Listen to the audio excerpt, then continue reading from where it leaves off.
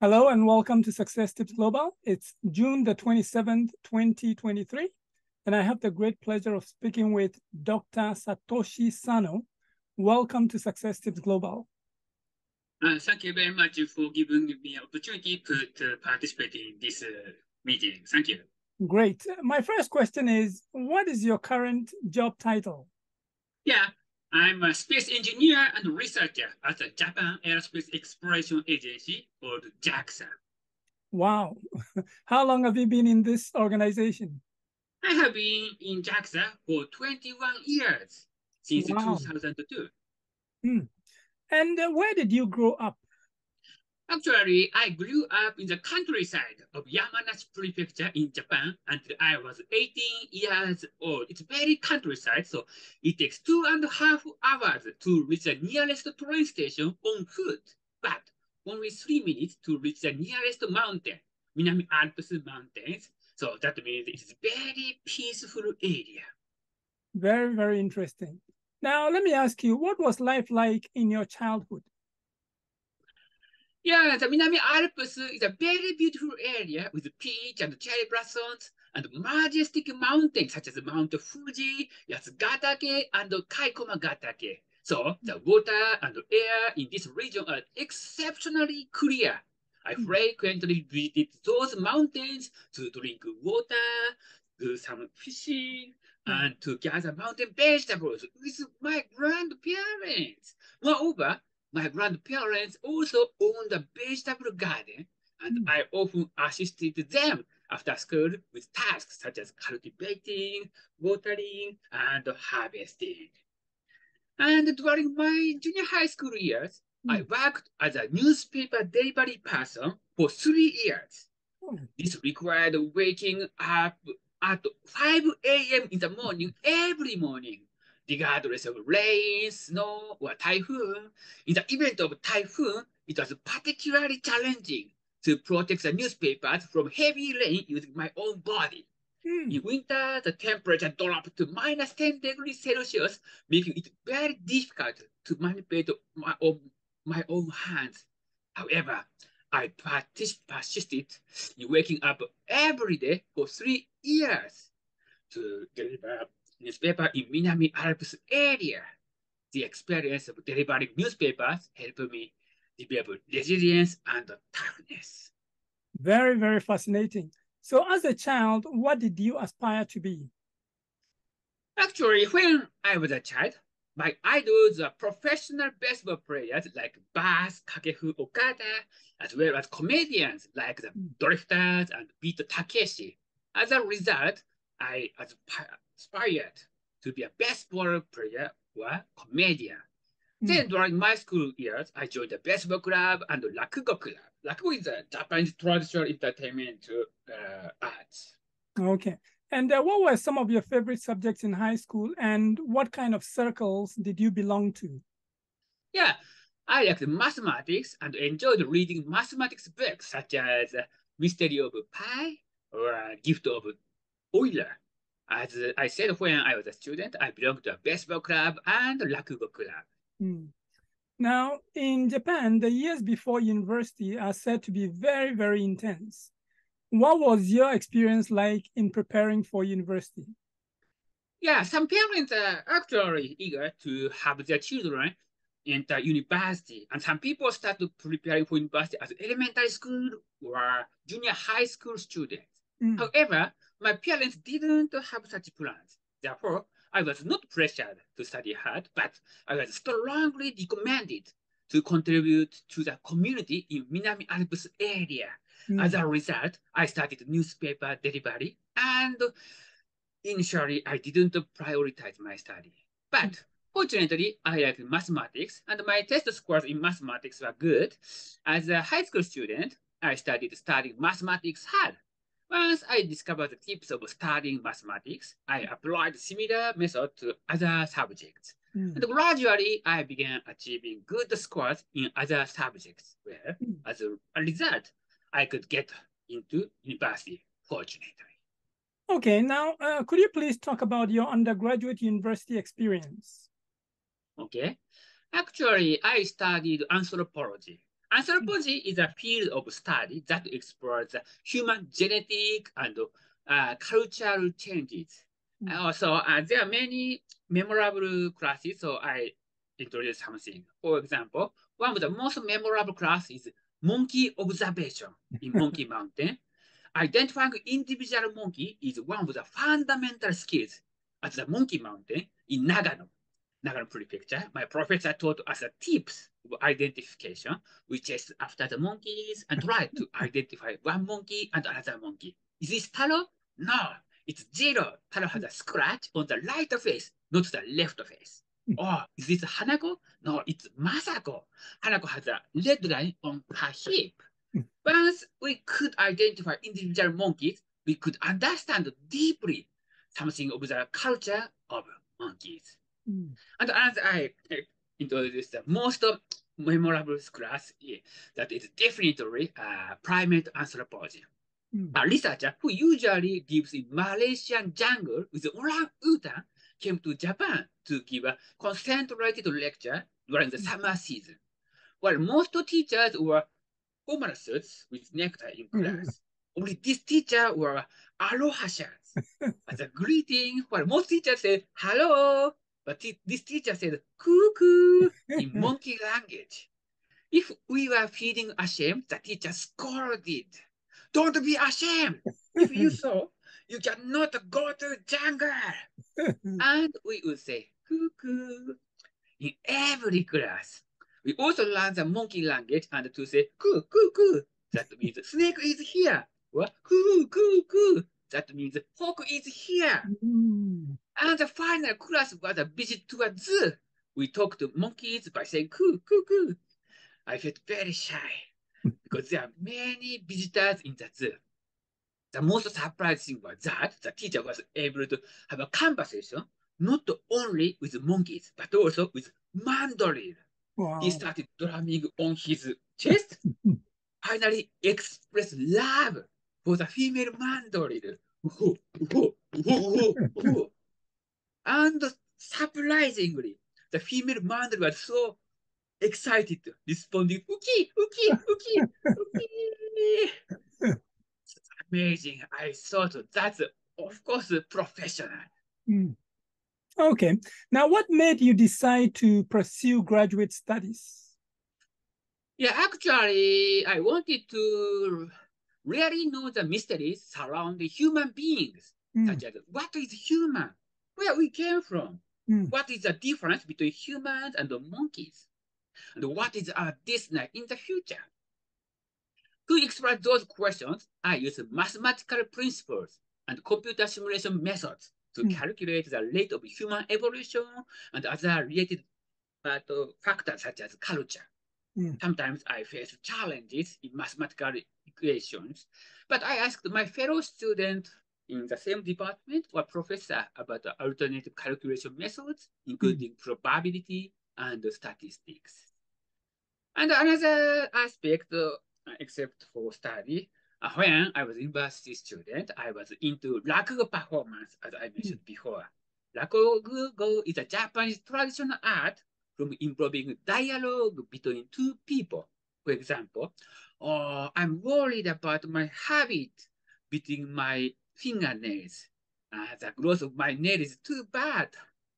Or you express nervousness. So please take up uh, yoga to feel relaxed. And one month later, oh, your fingernails are growing normally. Is it the outcome of yoga? yes, thanks to yoga. My foot can now reach the back of my head. And I started beating the nails on my foot. Chan chan. This is rakugo. Uh, Very interesting. Rakugo, I can develop my humor skills and abilities. Great. What was your PhD thesis about, and why did you focus on that topic? Actually, my PhD thesis focused on human evolution on Mm. interstellar travel. I had a curiosity about what would happen for humans if humans spent multiple generations in space. The space environment is very different from the Earth, such as high radiation and zero gravity, which inevitably impact on human evolution. Okay, now you got a PhD in space anthropology. What exactly is that?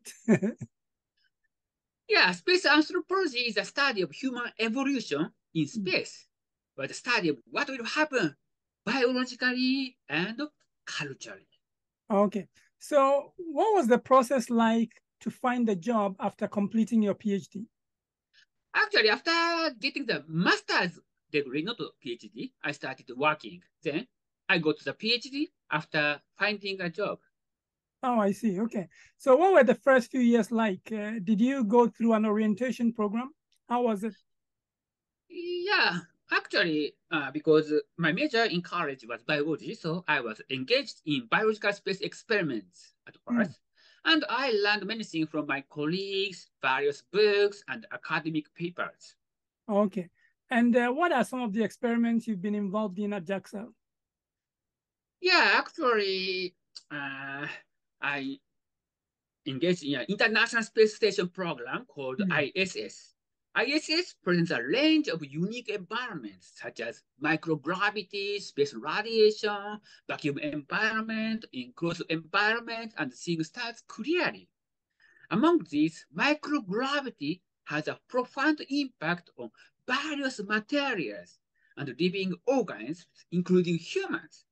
For example, gravity pulls your body fluids down on the Earth. However, in the absence of gravity in space, these fluids do not move downwards, and your legs get very slim. But please careful because body fluids move upwards, causing facial swelling or the moon face. Hmm. Using utilizing those unique space environments, medical researchers have endeavored to investigate the mechanisms of bone loss in space to develop novel medicines for osteoporosis and so on for elderly people on the Earth. Hmm. Actually, there is no gravity in space, Hmm. and also there are no convection currents and sedimentation, leading to high quality crystals in space. Hmm. High quality protein crystals are needed by pharmaceutical companies, and high quality semiconductor crystals are needed by electrical companies, and so on. And special space board decided what experiments should be conducted in space, such as gluten crystallization, protein crystallization, or osteoporosis disease uh, experiment, and so on. Okay. Now, uh, what are some surprising or interesting results you've got from your experiments? Uh, yeah, actually, surprising impact. Yeah, mm, actually, space experiments are always amazing and surprising. But uh, yeah, oh, because it, it is a, a actually frontier experiment, Hmm. but success is not guaranteed. Sometimes uh, we encounter surprising failure, not always success, because it is uh, absolutely frontier for humans in Hmm. space. All trials are fast done in space. No one can predict what happens in space. For example, in my protein crystal experiment, at first crystals could not be grown well in space, or it was grown on the Earth. An unpredictable phenomenon under microgravity caused a liquid leak. Nevertheless, we never gave up, and thankfully, pharmaceutical companies are always rooting for us. Hmm. My desire became so strong that I got a good crystal in my dream at night. Wow. Eventually, the dream came true. We Hmm. got high quality crystals in space. Congratulations.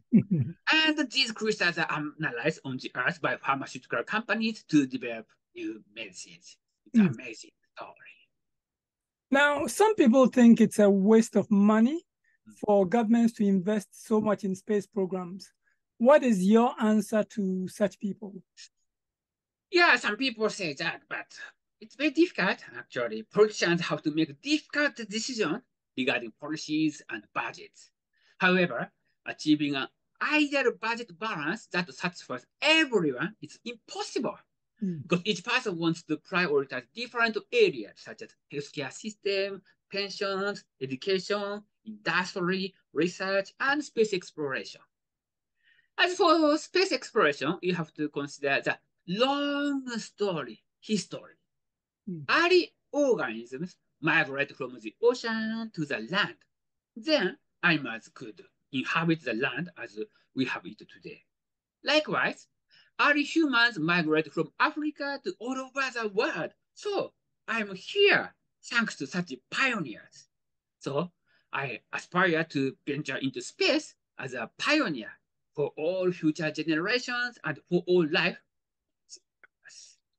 Superb. Okay, so now let's talk about travel, some of your travel experiences. How much traveling have you done in connection with your job uh, that we haven't talked about yet? Yeah. Yeah, as part of a business trip, I have visited Russia many times and the USA a few times, and other countries such as China, Spain, Greek, and so on once. Typically, I go to space agencies such as NASA and the Russian Space Agency, and such as uh, sometimes launch sites such as Baikonur in Kazakhstan that came from Russia, Moscow. Mm. Now, can you talk about some of the interesting places you've visited and some of the experiences you've had? Actually, interesting places is uh, for my private trip. I introduced mm -hmm.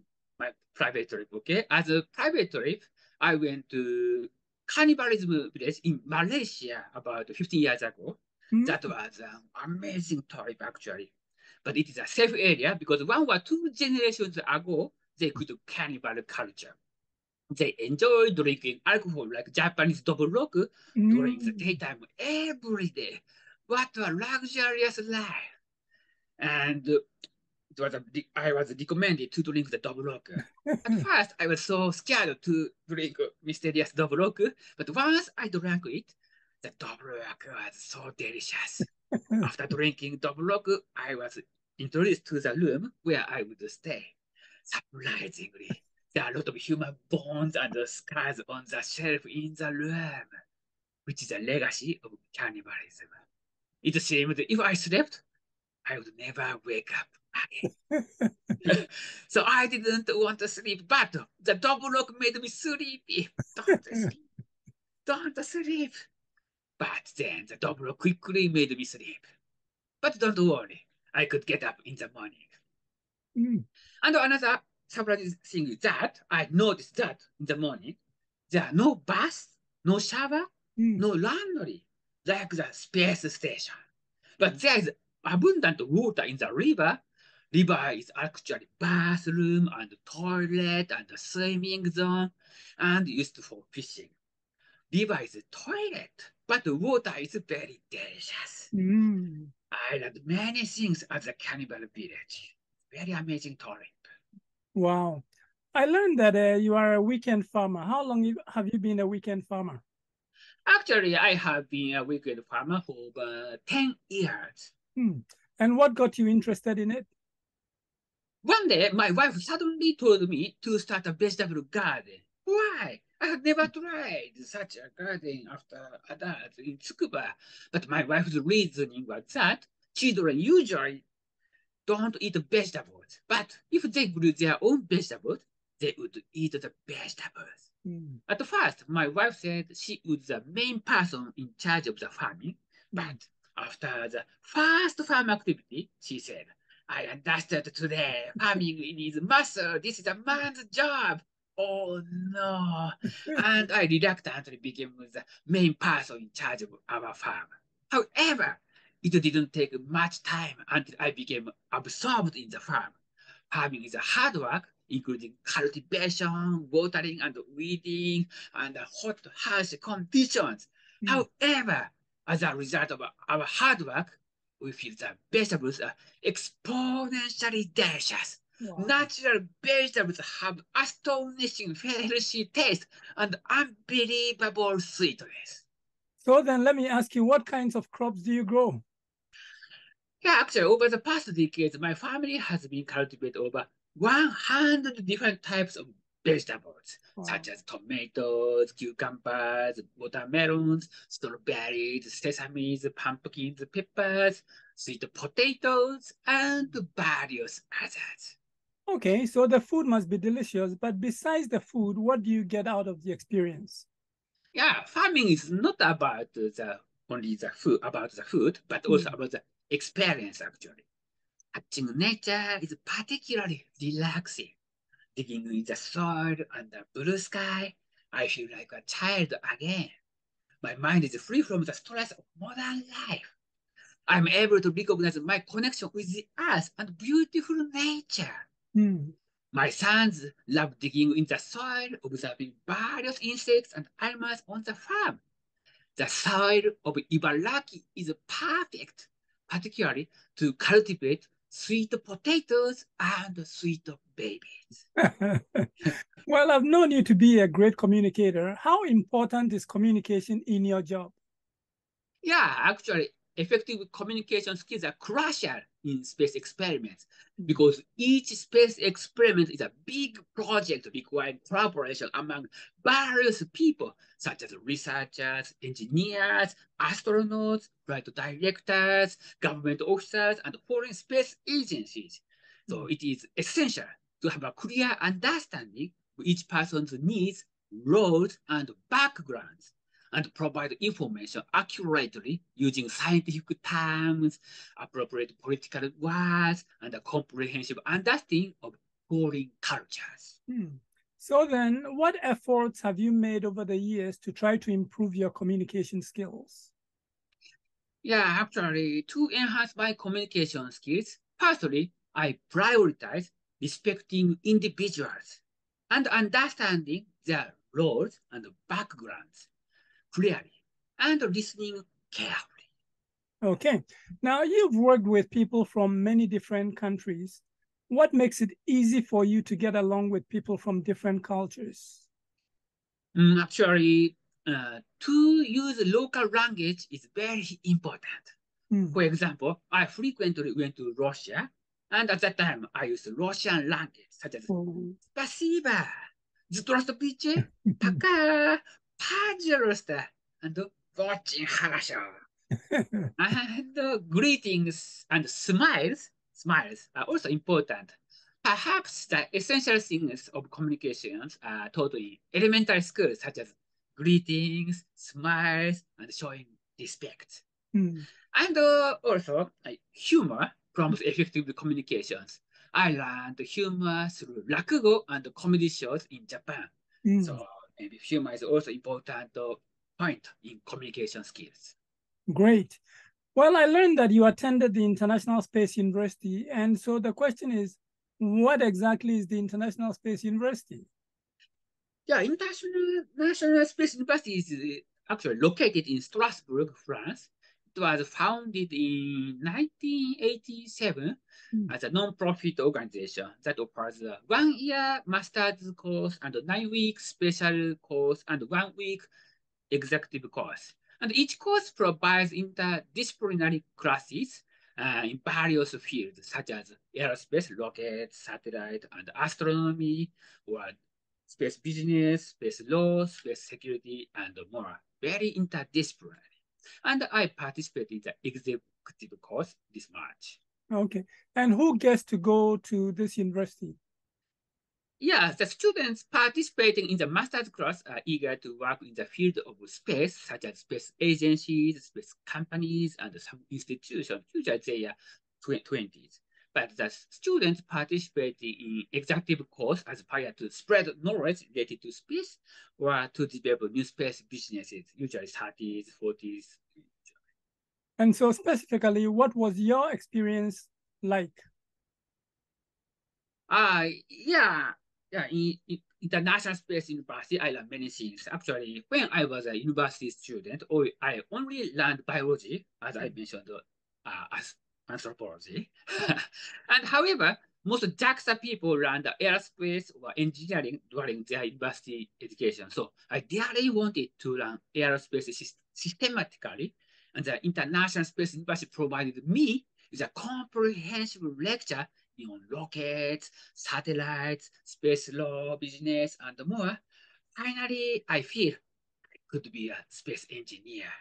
And another wonderful aspect is that International Space University attracts students all over the world, Mm. usually 40 countries or more, a diverse range of professions, including founders, investors, engineers, lawyers, military personnel, startup entrepreneurs, and more.